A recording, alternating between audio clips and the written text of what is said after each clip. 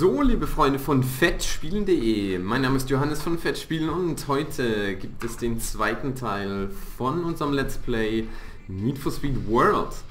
Ja, im letzten äh, Video habe ich ja krass gefailt am Ende. Das wird sich hoffentlich nicht wiederholen. Und ähm, wir haben unseren Charakter hier, Fettspielen Level 2.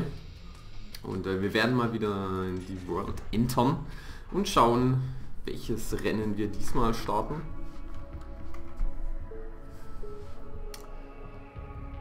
Letztes Mal äh, war es ja nicht so grandios, ja, was ich da äh, mir fabriziert habe, aber so, mal gucken. Aha, also wir sehen schon mal die Mobile-Werbung da oben, ja. Das darf natürlich nicht fehlen. Dann, ähm, ja, das Wetter hat sich ein bisschen geändert. Gestern war ja sehr schönes Wetter, heute ist es eher bewölkt. So, und wir ballern jetzt erstmal durch. Oh, hier mal, war mal ein Taxi, ja. Darf man auch nicht unterschätzen. Wobei Taxis immer so die, die, die schlechtesten sind. Ja. Ein bisschen Breaking Hits. Oder da kann man auch mal schön gegen die Wand fahren. So, mal gucken. Ich drücke jetzt mal R und gucke, was so geht. Wo die Events sind. Ja. Oh, Open Fiend Drive is found. Ja. Oh, mal wieder ein Drag Race. Da joinen wir jetzt einfach mal. Oh, Level 7, 11 und 5. Super. Es, es fängt wieder toll an. Diesmal weiß ich aber, ähm, wie man schaltet. Ist schon mal gut. Gegen Adam 88700, Rotzek Potsk und NB4299. Und wir schauen mal. Hoffentlich klappt es dieses Mal besser. Ich hoffe doch stark. Paradise Hotel.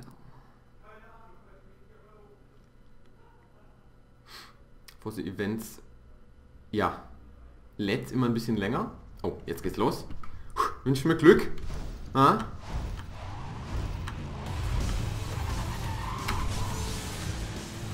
Okay.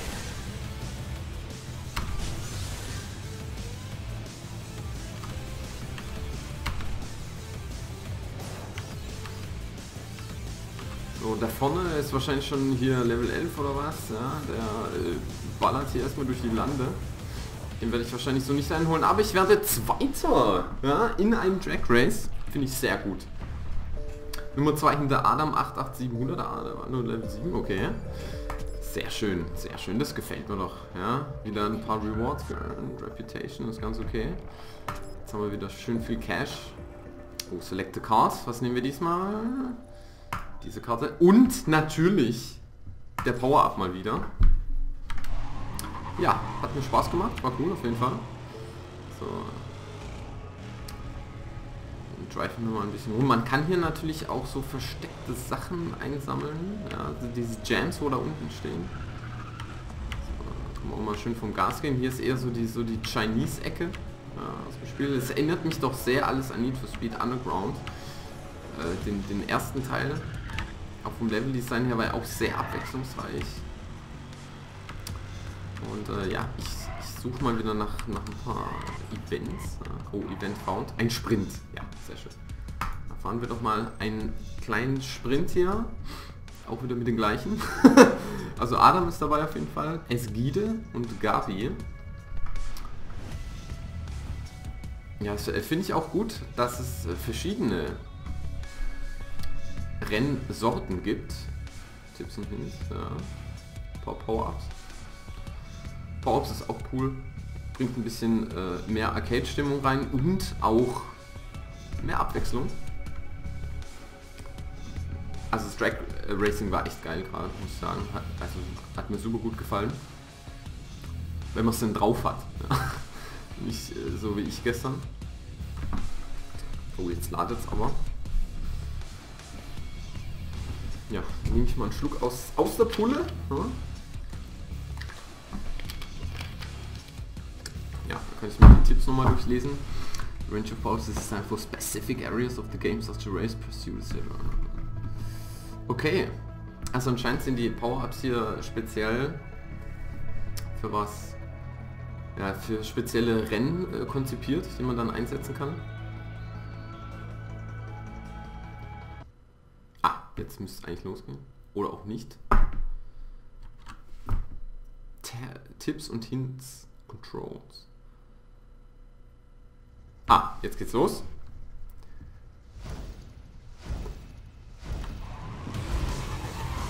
Und los geht's.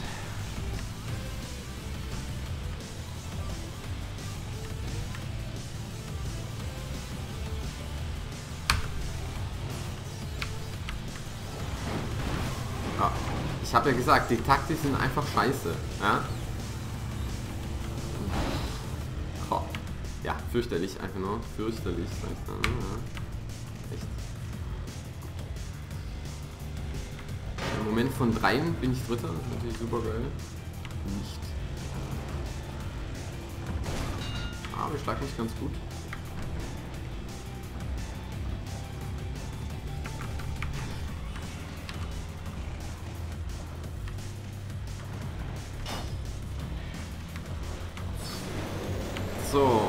Dafür, ja. Bisschen Nitro und da bin ich Zweiter. Ganz stark. Ja, ganz stark. Slingshot. Ja, kann ich wahrscheinlich mich an einen dran heften, mich dann so vorbeischlendern. Ja. Wird halt auch mehr bringen, ne? Würde ich äh, einen Gegner haben, den ich einsetzen kann. Habe ich jetzt leider nicht. Ist aber auch nicht so gravierend jetzt. Aber freut mich zumindest, dass jetzt äh, mehr Traffic hier auf den Straßen ist. Dadurch wirkt es lebendiger. Ist auch mehr challenging. Geschichte. Oh, da vorne. Ist der Gegner. Und ich kann natürlich jetzt auch nochmal äh, mein Nitro einsetzen. Aber da warte ich lieber ab auf eine schöne gerade Strecke. Weil nicht, dass ich jetzt wieder dumm hängen bleibe irgendwo. Okay, hier wäre zum Beispiel ein guter Moment. Und zack, vorbei. Ja. Falls jemand mal äh, Baumfellarbeiten hat, einfach nicht anrufen. Ich komme dann mit meinem schönen grünen Auto und äh, Holz alles wieder. So, ich kann mich ja auch recovern quasi. Ah, da war jetzt eine Abkürzung, habe ich natürlich nicht gesehen. Schade. Wobei ich glaube ich den ersten eh nicht kriege. Oh, der dritte ist schon ausgeschieden. Ja, das heißt, ich kann maximal jetzt wahrscheinlich nur noch Zweiter werden, ist aber auch nicht so schlimm. Also ich werde mir auch gleich mal ein neues Auto kaufen. Ich habe jetzt einen Haufen Kohle. Werde ich erstmal dafür einsetzen, ein neues Auto zu kaufen. Ja. So. Ich habe hier wieder einen schönen Nitro. Da geht's ab. Ja, und die kleine Zahl zeigt dann an, wie viele von diesen Power ich noch einsetzen kann.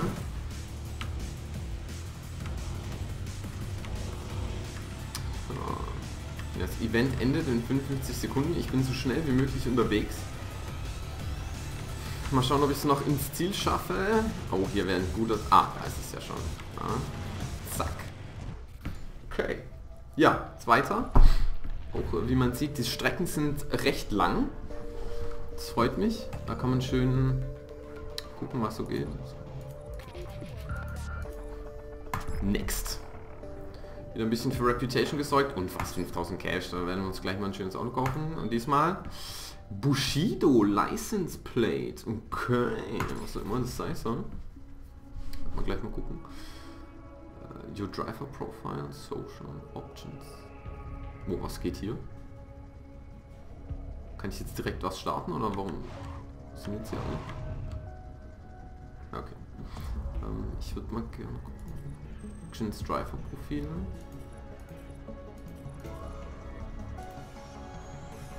Hier kann ich mir also mein Auto angucken. Ist schon mal schön, die Garage.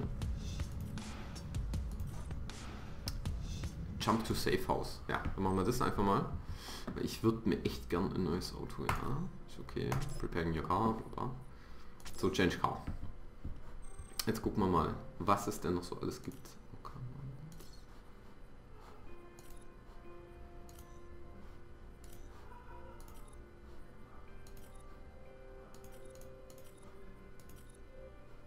No Cars Matching the Current, super. Kann ich jetzt keine Autos kaufen? Also ich habe hier 83.000 im Stall, ja. Ich würde mir da echt mal gerne was kaufen. Ein neues Auto zumindest, irgendwie.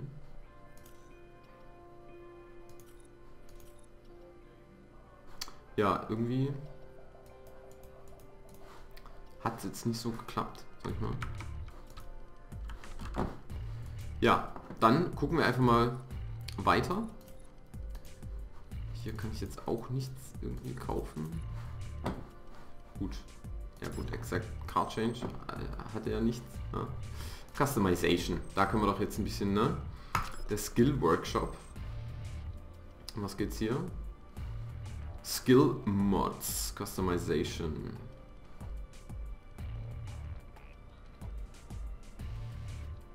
Aha, also ich kann meinen Autos quasi Fähigkeiten beibringen, damit es halt schneller ist, ja, oder damit ich ein paar Cops dominaten kann. Wenn ich Verfolgung spiele, ist ja echt cool. Ja. Ah, so, hier kann ich schon mal rauszoomen. Ah, hier kann ich es drehen. Wenn ich Rechtsklick mache, ja, kann ich ein bisschen drehen. Und mit dem Mausrad kann ich äh, zoomen. Jetzt gucken wir mal. Collision Force. Increase the weight of your car in collisions. Aha. Ja, das klingt doch alles schon mal gut. Early Power-Ups. Ja, ist immer gut, ne? Early Power-Ups. Wollen wir immer mal brauchen.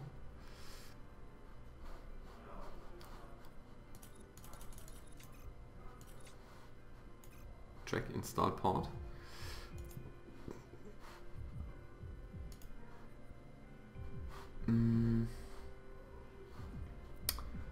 Brother. Detects all cops. Das ist auch, schon mal gut. Das kann man, machen wir auch mal.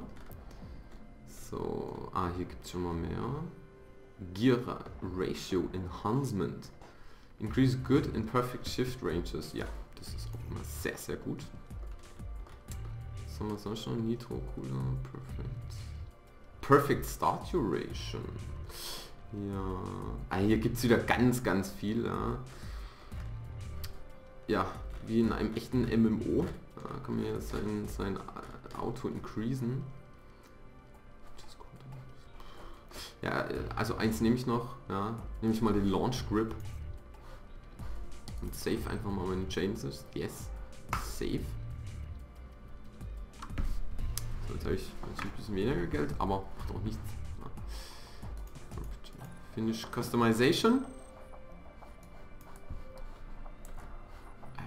Market Shop, was geht hier? Vielleicht kann ich mir dann sowas cooles kaufen wie einen neuen Motor oder so. Ja. Oh, Body Kits. Und es gibt sogar on Sale. Das ist natürlich sehr fresh. Ja. Dann gucken wir mal, was ist denn das hier? Der Tensor. Wie sieht er denn da? Uh, nicht schlecht, nicht schlecht. Body Kits. Also man hat ja echt unfassbare Auswahl, was man hier alles nehmen kann. Ja, das ist der Flow. Uh, ja, das nehme ich schon mal. Das sieht geil aus. Ja, bind das. Gucken, was ist das hier? Oh nee, nee, das ist schlecht. Okay, was kann der? Ist ja on sale, ne? Da kann man das... Ja, das sieht auch scheiße aus. Das hier sieht mal fett aus, ja. Kann man auch hier... You need S boost is used to... Ja. Get speed boost now. Was haben wir noch? Wheels. Ja. Kann man uns schöne, schöne Felgen hier reinballern. Der hier für 400. Mal gucken, wie es aussieht. Uh, fresh, fresh, fresh.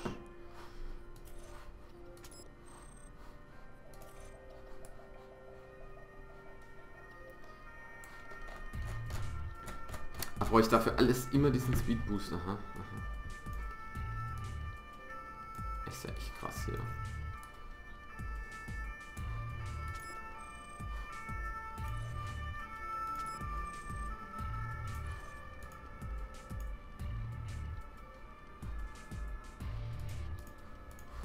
So, dann gucken wir mal weiter. Was gibt es denn noch? Neon. Ah, boah, Untergrundbeleuchtung. Geil. Das natürlich ein grünes ist, nämlich natürlich grüne Unterbodenbeleuchtung.